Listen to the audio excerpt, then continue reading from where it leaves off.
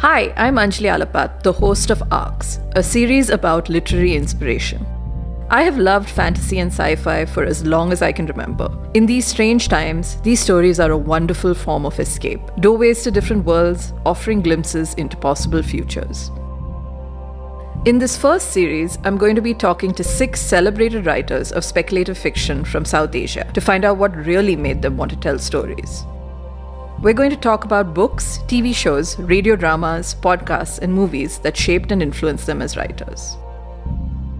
Today, we're in conversation with SB Divya, author, editor, and engineer, with an encyclopedic knowledge of sci fi and speculative fiction. Divya's work is a fascinating mix of her professional and personal backgrounds, with great science and even better storylines. Her debut novella, Runtime, was nominated for a Nebula Award, and her first novel, Machinehood, also received Hugo and Nebula nominations. She has been recognized for her work on the Escape Pod. Her short fiction has been published in a variety of magazines and anthologies.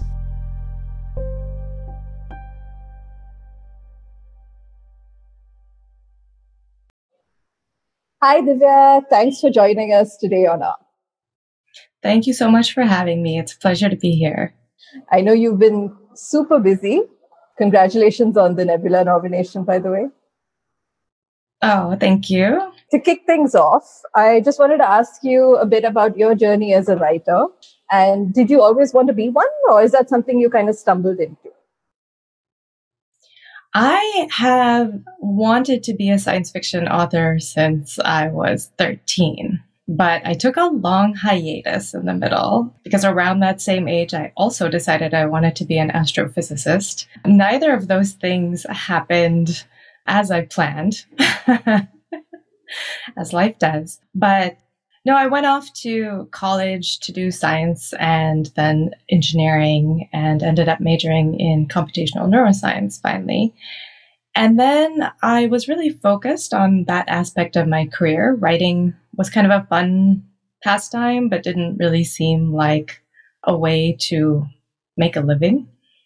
It's a really hard way to pay your bills for sure. Most writers I know start out with some other way of having a stable income and then build up their writing. And I would occasionally start a short story on a vacation or something. But I was telling myself that it was something I would do when I retired from engineering. And after having a child and a few years of just having my life consumed by, you know, kid, house, work, I kind of decided to to take writing back up as a way to carve out a little bit of space for myself. And I decided that this time, being, you know, in the middle of my life and having accomplished a decent amount in my first career, that I would actually try to get published and not just write for my own sake. And that kind of started me on this whole journey back in 2013 of submitting short fiction and then working my way into longer form. And you mentioned engineering, and which I think really shows in your work. How is that kind of tied into your writing and your storytelling in general? Well, it's been an interesting feedback cycle because I started reading and loving science fiction when I was even younger, when I was nine or 10. And that definitely kindled an interest in science and technology. And so I think it kind of came full circle in that, you know, when I started writing, I knew I wanted to write science fiction. I do occasionally write uh, fantasy, usually you know, magical realism, slipstream types of stories. But science fiction is definitely my first love. And it's great to be able to draw on my background because I actually did start as a physics major. I took astronomy. And then in order to do computational neuroscience, I had to do biology and engineering. So it's a fairly broad background that I come from. And I think that allows me to be comfortable delving into technical details. I love that I get to research, especially these days with, you know, so many papers being available on the internet. It's easy to get deep into a subject if you want to. And I really enjoy having that freedom to kind of explore whatever I'm finding interesting on that particular week. You also worked on the Escape podcast, which is, by the way, fantastic. Anyone who's listening, please go listen to that. So, how did your work there affect your storytelling? I started submitting stories in 2013, and I was very lucky to get one accepted and published in 2014. And my first publication was at a site called Daily Science Fiction. And they're still going. It's like one flash fiction piece, which is, you know, three or four pages each day. I had been reading daily science fiction for a while, just to kind of get the rhythm of flash fiction and understand that um, mode of storytelling. And someone on there had mentioned that their story had partially been inspired by a prompt from the Codex Writers Group. So after I saw that, I looked into it and I was like, oh, it's, it's a really cool site for newly published authors. And so once I had my first publication, I joined Codex. And through one of these fun story prompt contests that they have, I met many, many other writers, one of whom was at that time with Escape Pod. And she's the one who then brought me in as a slush reader or associate editor is what we call them officially, but they read submissions. It wasn't something I particularly sought out, but I had heard that being a submissions reader, especially if you write a lot of short fiction, can be a great way to learn more about the craft. And so I said yes. And that's kind of how it, it all started.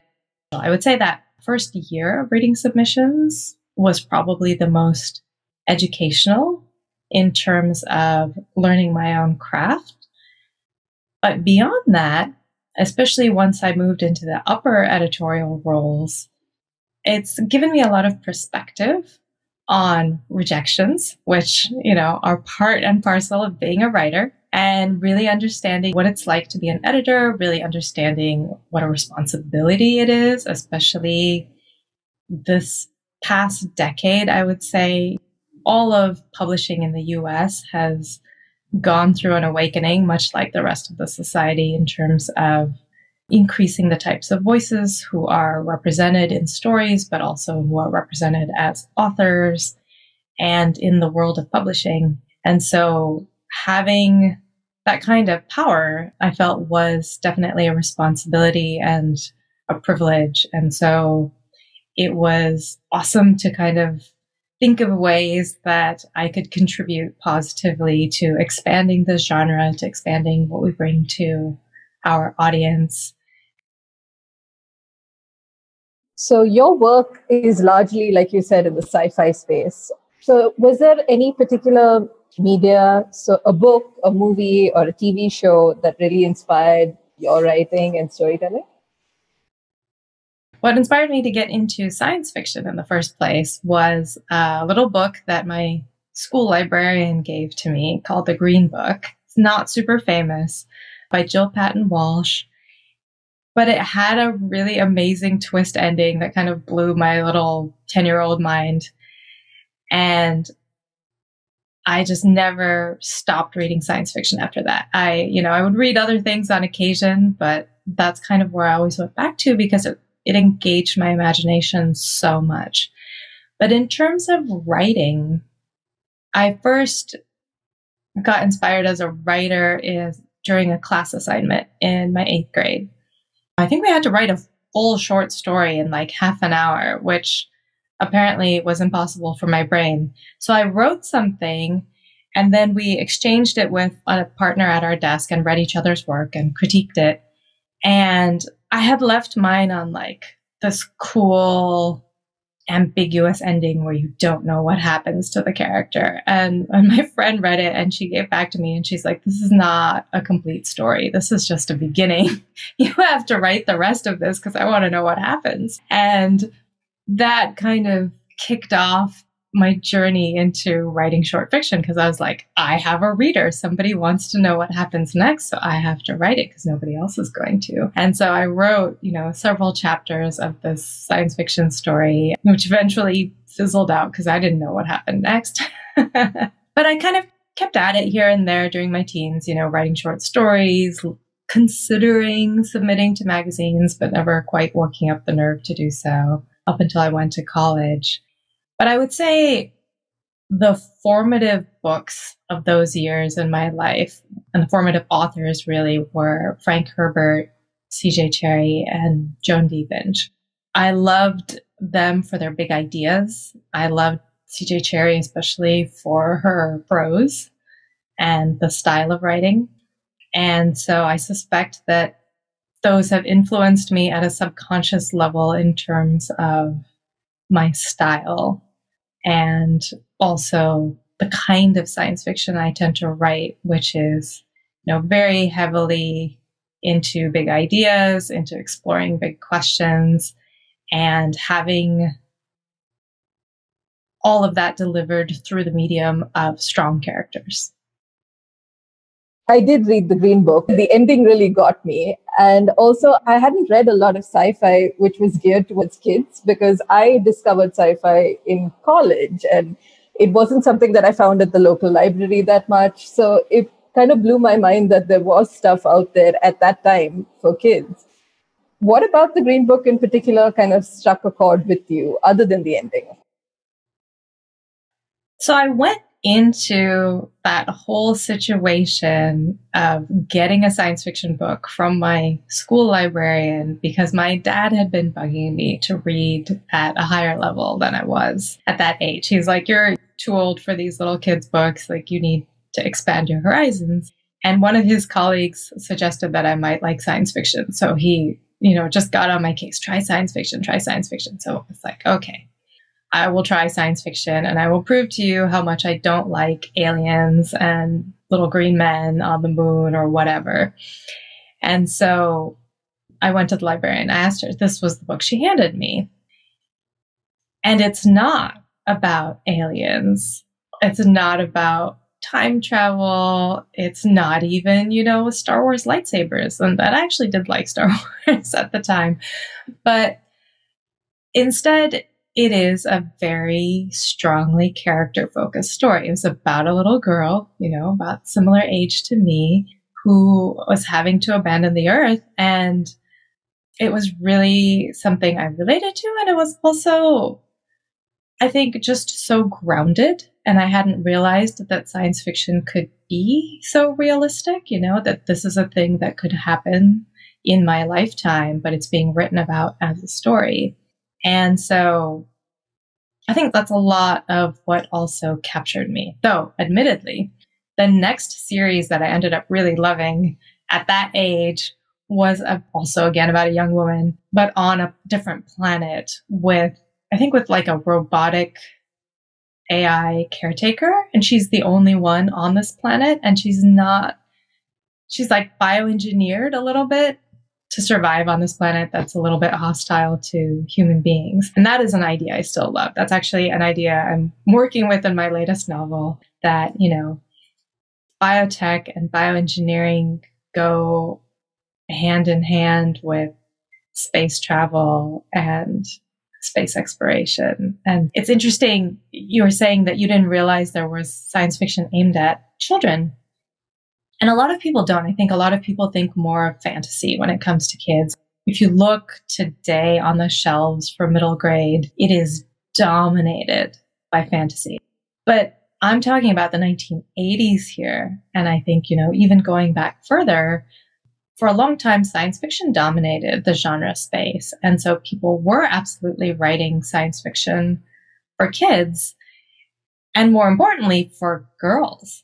Because that's the other thing. A lot of people, you know, they have this misconception and they think about the ABC, right? Asimov, Bradbury, Clarke, Like these are the, the big names that most people in the world still think of when you say science fiction literature. But there were people, people like Jill Paton Walsh and Joan Vinge, and, you know, going all the way back to the 1920s and 30s, there have been women people of color writing science fiction for all ages and set in all parts of the world.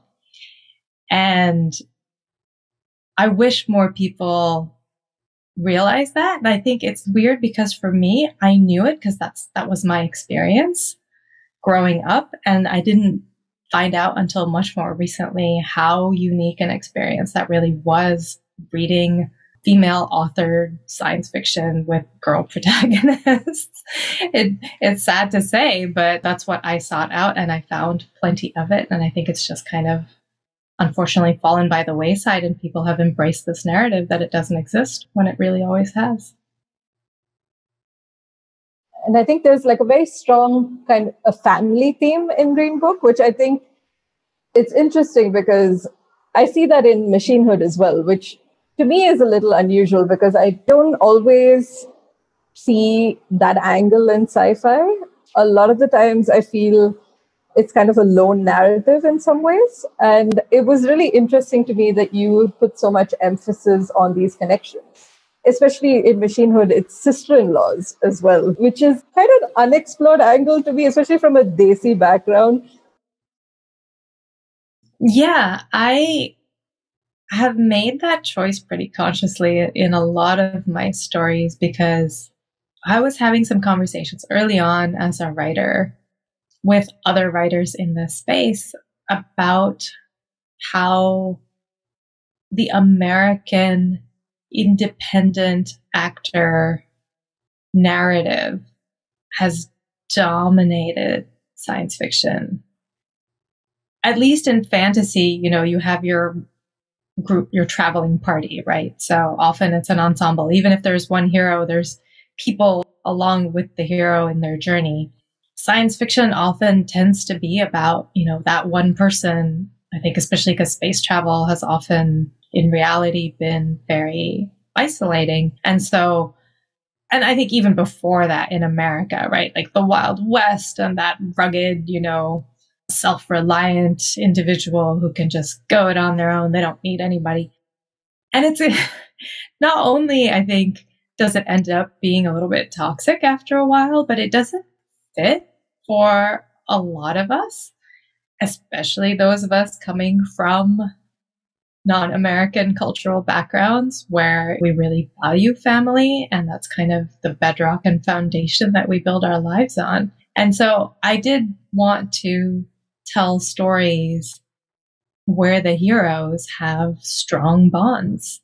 And it's not just found family on a starship because you didn't fit with your biological family. I think I've explored a lot of different types of relationships, including, you know, siblings, romantic partners, parents and children. And I just thought that was kind of an interesting angle in which to be able to tell the stories of two very different women, but who still share some values in common. And I think it also makes the story more interesting because you have, you know, all the world spanning action of the Machinehood in the foreground, and then you have all of the family drama and dynamics in the background, but the two can play off of each other.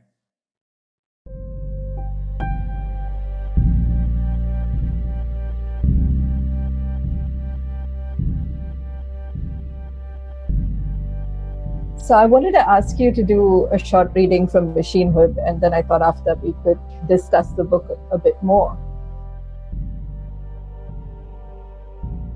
I'm going to read from chapter four of Machinehood, which starts off Nithya's story. So there's two main characters, Olga Ramirez, nicknamed Welga, and Nithya Balachandran who are sisters in law. And The first three chapters all focus on Welga, who's our action hero and who has experienced the first terrorist attack by the Machinehood towards the end of chapter three. So that's kind of where we're coming into things with chapter four. Chapter four Nithya. We built software that passed the basic Turing test nearly a hundred years ago.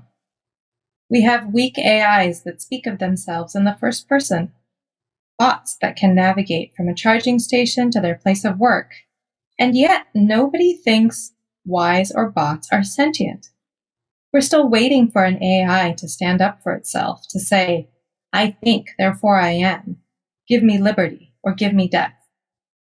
We look for a desire for self determination as proof of sentience. No one has successfully programmed an AI to behave this way in a convincing fashion. But I believe we're very close, within a decade at most, to seeing this. Min Wu, PhD, Computational Philosophy. Lectures on the Artificial Mind. Expert rating 97.8 out of 100. UC Berkeley, October 2087. Nithya's fingertips moved through the virtual desktop of her office space, opening research results from Asia Pacific's International Medical Journal, adjusting the metabolic parameters in her simulation, pulling in an updated code block from her current contract holder, Synaxal Technologies. They funded designs for pills, the tiny biomechanical machines that could affect everything from intracellular transport to DNA and RNA editing. She'd worked on multiple projects for them, primarily with Juvers for muscle recovery and repair. A triple dose of flow kept Nithya's mind from losing the multiple threads of thought. Her agent, Sita, worked on the background tasks that Nithya assigned her. Sita wasn't the most expensive weak AI design, but she could handle information sorting Nithya usually had her agents sift through a steady stream of simulation data from other corporations and freelancers, only bringing items of interest to her attention. At the moment, she'd set Sita to trawl for reports that might relate to her sister-in-law's data. Welga's records made little sense to her. The tremors implied a neuromuscular problem, and that pointed to Zips as the likely culprit. But why now? What had built up after a decade of use? Or was her sister in law's condition something genetic and age the trigger? Neurology lay outside Nithya's expertise, but she could muddle through high level research. If she made enough headway, she might even earn some tips for the work. God knew they needed the extra income. Luis used to earn the bulk of his money from context tagging gigs marking up visual media with labels that made sense to AIs. But those opportunities had dropped in recent years as WAIs became better at interpreting human body language. He took any other work he could find, and he still got decent tips from rocket launches, especially after Ekoyi Station declared independence from India and China's joint governance. With five sovereign space stations and half a dozen others, the population in space had grown to several thousand. They needed supplies, trash removal, and passenger transports. Private rocketry clubs like Luis's could provide those, but the tips didn't amount to much. Certainly not enough to save up for Karma's gear.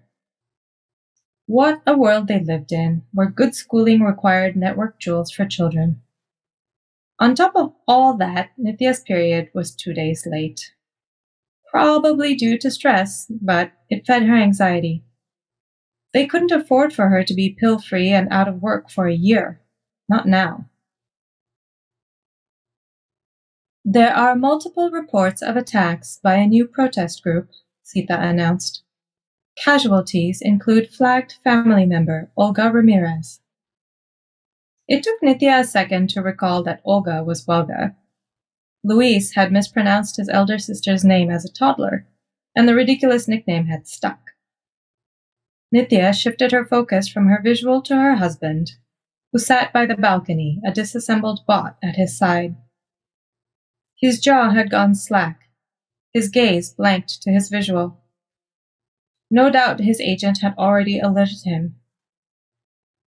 She stood and peered around the soundproof wall that separated her work alcove from her daughter's.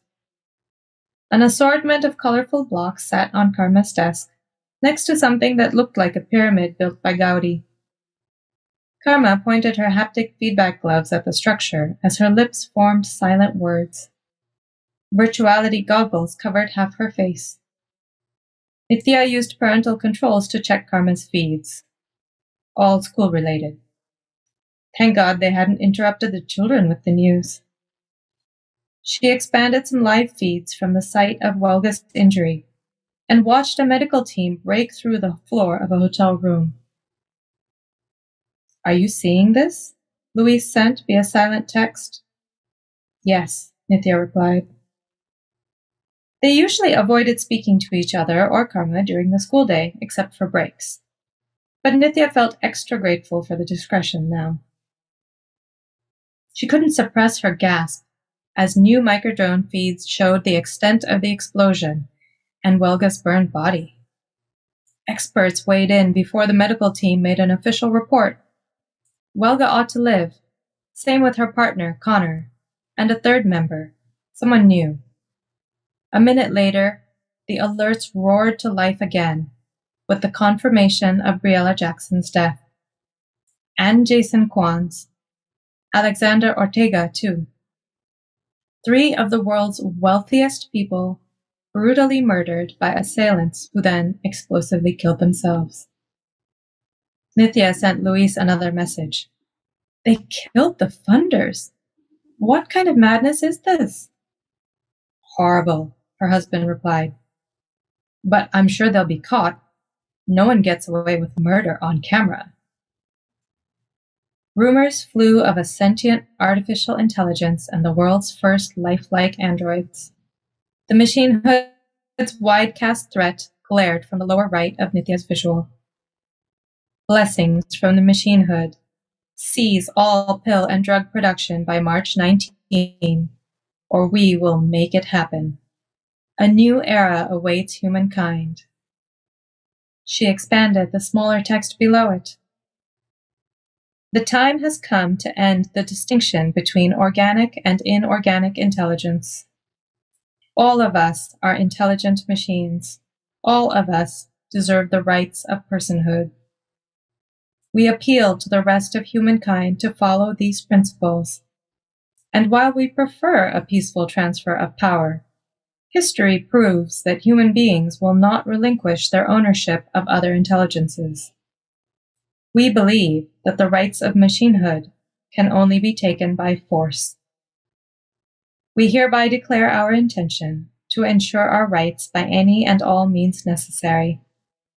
Humans of this universe, you have a choice. Stand with the machinehood or render yourselves extinct. And I'll stop there.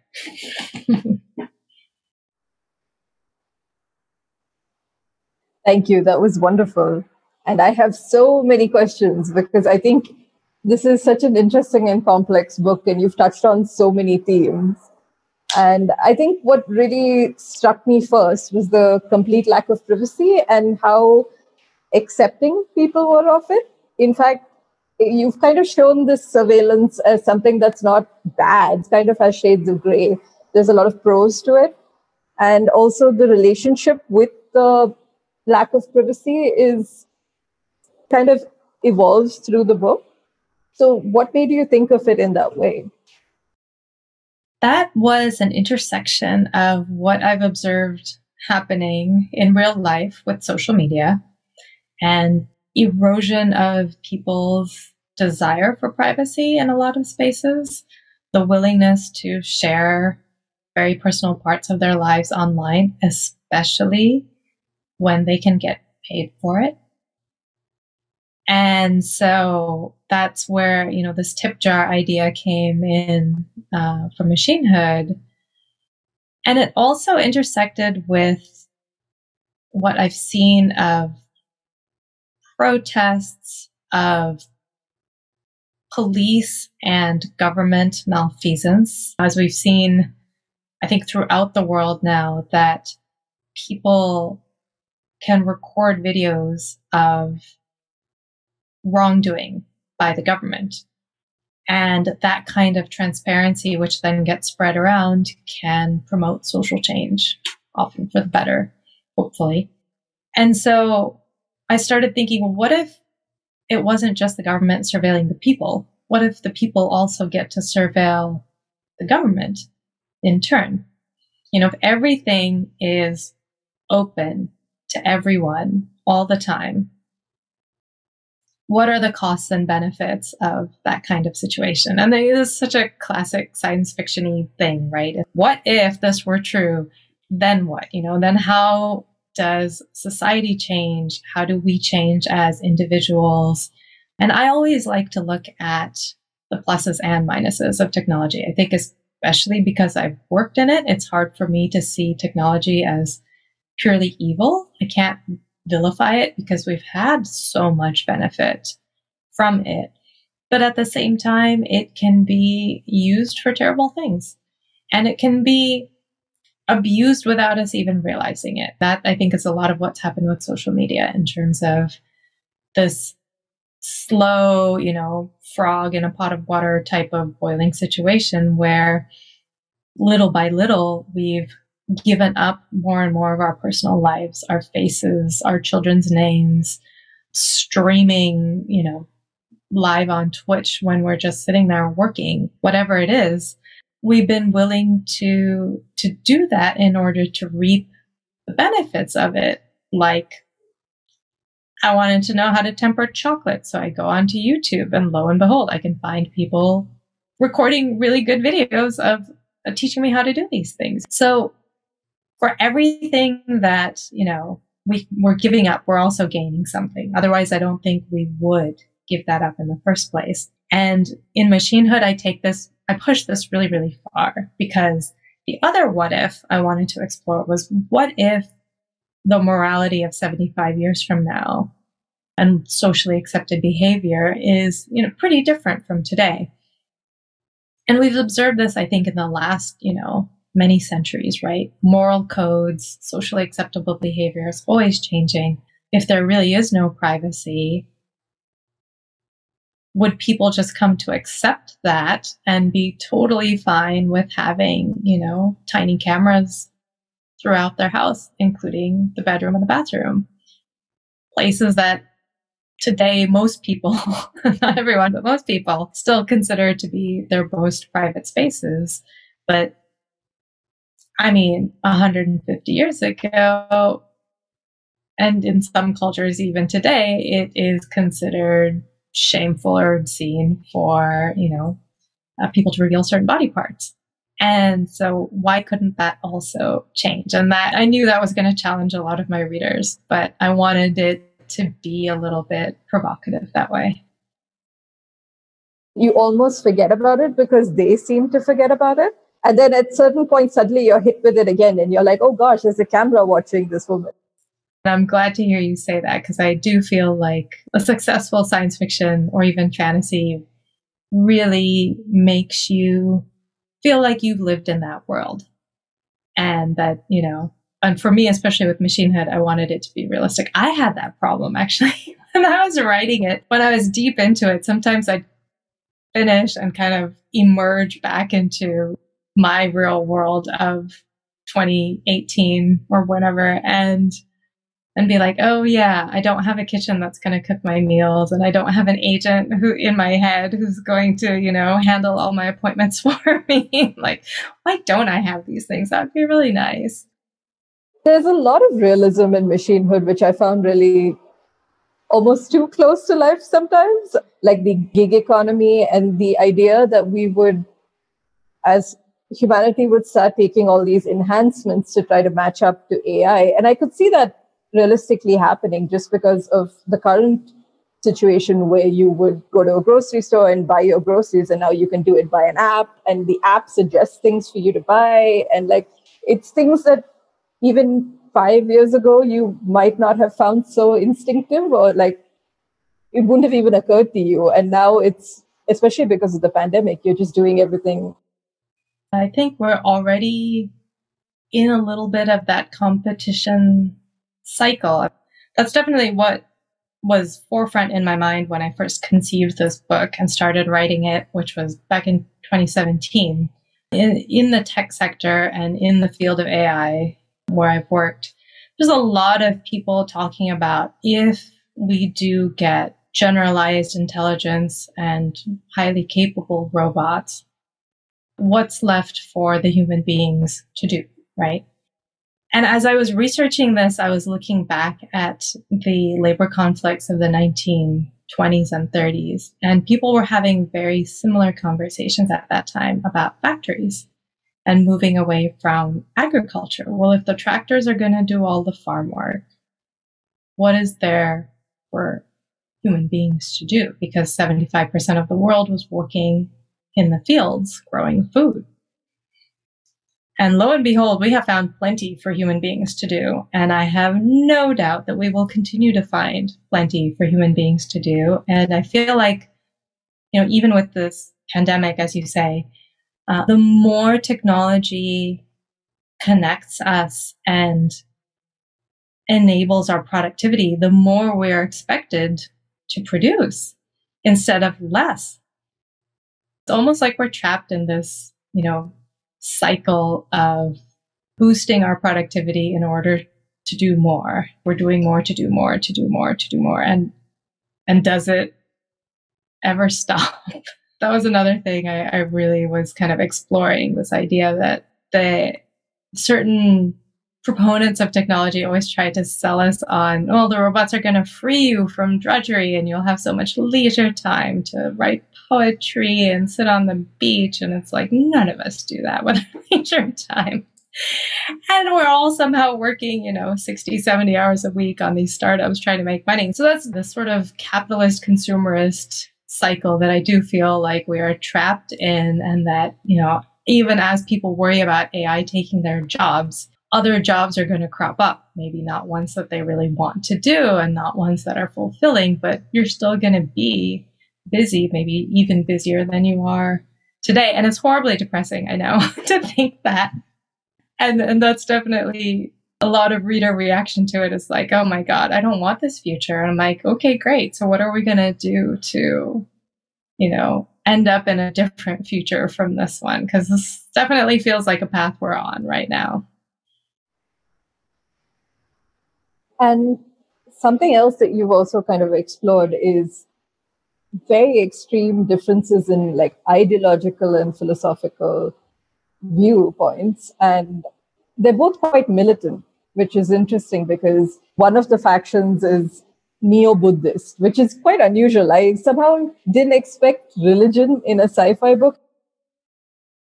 Yeah, I think that ranks right up there with family in being absent from a lot of science fiction. It's there very explicitly in certain books where they focus on, you know, a religious figure or a religious leader as one of the main characters. But religion as part of everyday life is absent. And I think, again, I think this kind of goes back to the, the early roots of science fiction and a lot of those authors not being terribly religious and therefore envisioning you know, futures in which nobody's religious or nobody really talks about it. And that's not my experience. And I don't realistically think that in 75 years we are going to have eradicated religion from the face of the earth. And I think a lot of people don't want to eradicate it, frankly. I, like my main character, Welga, am um, an atheist, but, you know, most of my family is Hindu. And I was kind of raised in a mixed household that way. And a lot of my friends are religious. I think if you're going to write characters who are real three dimensional people, while it can be easy to ignore religion in a near future setting on Earth, I think having an entire cast of characters where nobody is religious would be really, really strange and ignores a significant portion of the population and an important aspect of their lives.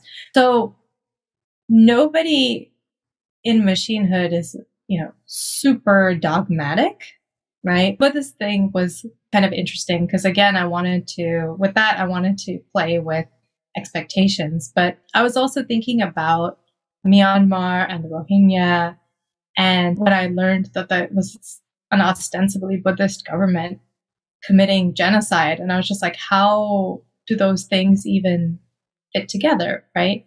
And we've seen that with a lot of religions that claim to be peaceful on the one hand, but don't act particularly peaceful on the other hand. So I think that one was just kind of a fun way to, to play with expectations and again to kind of say, what if putting India and China together? You can imagine India and China having joint governance of a space station. But I was like, geopolitically, things have had some pretty massive shifts over the past 75 years. So, what if, in order to counteract the Western superpowers, India and China actually banded together and collaborated instead of competing. Like, imagine how powerful that could be as a force in the world. And with the right people at the heads of those governments, maybe it could happen. It's like, okay, there's always surprises, you know, in reality. So let's throw in some things that would be really surprising to the reader as well. I'm not going to lie. When I read that, I was like, oh, that could go either really well or really wrong. I also really loved your protagonists because I enjoyed the contrast between them. I liked that one was like a one woman army and the other was a working mom who was quite grounded in like realities of life in a and I felt like they were both heroes in very different ways. And what went into that decision to portray them so differently? I really wanted to have that contrast. Again, because so many stories focus on that action hero figure. And I need the action hero because she's the one driving the primary plot. She has to be in the middle of everything. And sometimes you can take a non action person and, you know, yank them out of domestic life and throw them into the middle of the turmoil. So they're kind of a fish out of water, like learning how to be an action hero, even though they're a quote unquote ordinary person.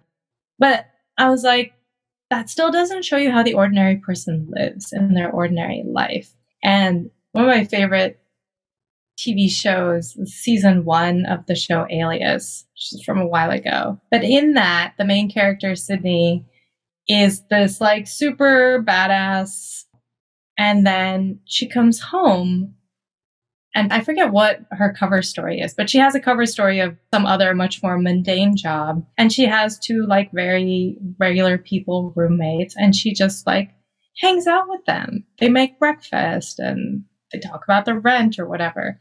And I loved that juxtaposition of ordinary life, you know, with like extraordinary events happening. And so that's where Nithya really came into play, where I was like, this is a way for me to show what the average person in 2095 is going to live like. Not the action hero, not someone with a lot of power, but just ordinary, everyday person, but then whose life is also going to be thrown into turmoil by these globe spanning events. How are they going to react? What are they going to do? You know, what kind of suffering and like you said small acts of heroism are they undertaking and i think we've seen that with the pandemic that's really been brought home. And that happened well after I finished writing this book. But those little things that everybody can do, just tiny, tiny little things that we're doing every day. But if we're in the middle of a crisis, it feels pretty heroic as human beings. We can see that. It doesn't always have to be about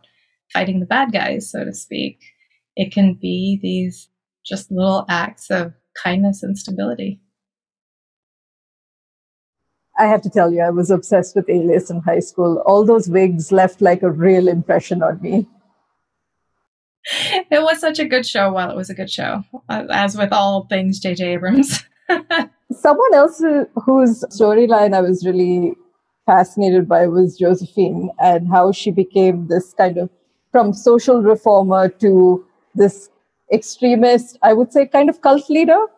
And this sanctuary that she's created and she's kind of leading these people that these Dakinis who've kind of become the face of what the space colony is. It's all another extreme. And I was just interested in how you conceived her and her journey. So she was born out of some of this research I did in the 1920s was looking at labor movements and the rise of unions and you know, everything that was happening there. And there was a lot of civil disobedience, a lot of good people, generally peaceful people who got drawn into fairly violent activities because of the circumstances of the time, because they believed in social revolution, because they wanted change. And they didn't go around shooting people. They went around blowing up bridges and factories as symbols of wrongdoing. And they usually went out of their way to make sure innocent people didn't get hurt, right? They wanted to hit people in the wallets. And that kind of got me down this road of how do people become revolutionaries? Everyone starts out as just an ordinary kid somewhere. What turns them to extremism? So I just kind of got interested in that kind of character and wanting to explore that mindset a little bit and show how it might be possible and how you might take that journey along with them. And ultimately, in this book, it's up to the reader to decide, you know, are you going to take sides? And who do you think was right or wrong in their actions? But that's where a lot of that that whole storyline around Josephine came from. Was just uh, yet again another family person, right? Who's trying to do the right thing, who sees injustice and goes through some trauma and ends up deciding to change the world. Okay, once you've made that decision, how do you actually go about achieving that? And I love that it's not so black and white as well. She started out with the best of intentions. And I think at the end of it, what is so interesting about the whole thing is that it's two extreme factions having a conversation. There had to be some kind of give, which I think was the masterstroke of the book, is that everybody involved had to give in some way. And I particularly loved how Welga, who was so opposed to the Machinehood and so opposed to everything they were doing, actually had to physically and mentally compromise so much of herself to she's saying that she's doing it to kind of infiltrate them but at the same time she doesn't want to die. She wants to live. And i thought that was that's so human fascinatingly human. Yeah i think it's a tough question. Like i honestly wrestled with it through the whole book too. And i remember when we're getting deep into spoilers here oops it's okay. You can put a spoiler warning on top. When my agent read the manuscript, she came back to me and she's like, by the end of this, I'm really sympathetic with the Machinehood. And I said, yeah, I kind of want you to be sympathetic with them, you know, to a point. And she's like, they're like the bad guys. And I'm like, well, but are they? You know, they did some bad things for sure all governments do bad things though, everywhere in the world. And some people do bad things who aren't necessarily super bad people, which is not to say there aren't actual bad people out there. There absolutely are. But that grayness and that moral grayness is something that I think is a lot more realistic than just like evil for the sake of evil. I'm never a fan of that. Like everybody has motives for why they're doing what they're doing, even if their motives are just to have more money or whatever. Again, after going through all my research, a lot of these people who do terrible things are doing it from a place where they think they're genuinely benefiting humanity. And so then I was like, what if they they actually are genuinely benefiting humanity. Nobody wants to see it. How do you overturn something as deeply entrenched as capitalism, for example, or our labor market. And so having everybody compromise at the end, I think is a nice outcome. One thing that people sometimes criticize about the book, it's too nice of an ending and that realistically things might not have gone so well for anybody involved, right? They could have gone much, much, much worse. There could have been a lot more dead people by the end of this book. That was my choice to not have a horrible, tragic ending for all those involved and to say that, okay, maybe we can find a peaceful way out of these types of situations, right? Because that's ultimately what we all hope for for the future. But like your eighth grade story, you have left it a little open and you've kind of given a little room for maybe things could go well, maybe things could go wrong. You've left them kind of at the precipice of things. Yes, in terms of the big biotechnology transformation and the Dakini and the adoption of all that in society, I was thinking if I write a follow up to Machinehood, I'd probably want to skip ahead like five to 10 years and say, okay, what did the world do with that moment and how have things changed or not changed for people? I feel like the thing I often see in real life is there's a lot of talk and angst and unrest, but then you do have to go back to your life and family and work and then nothing changes. Right? Or very little changes maybe, but you don't get that big revolution that you often see in literature. And I think that's why we love the concept so much in books because we can make these massive social shifts in our imagination much more easily than we can in reality.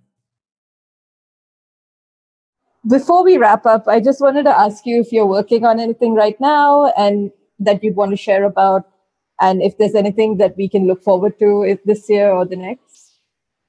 Yes. In fact, I'm about to announce it on social media, but uh, pre-order links are up for my next novel, which is called Meru, and it is quite a, a departure from Machinehood in that it is far future, departure from both Machinehood and Runtime, my previous two books. Set in the far future, lots of space adventure, but still lots of big, big ideas about consciousness and what we owe to the planets and what it means to be human or not. This book very loosely inspired by the story of Nala and Damayanti in the Mahabharata. I wanted to, you know, much like with family stuff, see a lot of romance in science fiction, except in the movies, because there always has to be a romance in the movies. And so I was like, what if I take a plot that's fundamentally a romance, but not so much of a Western romance, you know, an Indian style romance? and then set it a thousand years in the future. it's evolved so far from there that I don't expect anyone to recognize the original story in it because I've departed from it in so many ways, which is why I say loosely inspired by. It was a really fun book to write. I wrote it in 2020 in the middle of all the awful stuff happening in the pandemic, which is why I think I had to move away from the near future because reality was just a little too grim at that moment. And so I needed something escapist. And so that's what I wrote. And I had a lot of fun writing it. And I hope people enjoy reading it. It will be out on January 3rd. Hachette India has picked it up and hopefully they will have it out right around the same time as it hits everywhere else. That's great. I'm really looking forward to it anyway, thank you so much for joining us today, Divya. That was an amazing conversation, and we were thrilled to have you on us. Thank you so much for having me. Super fun.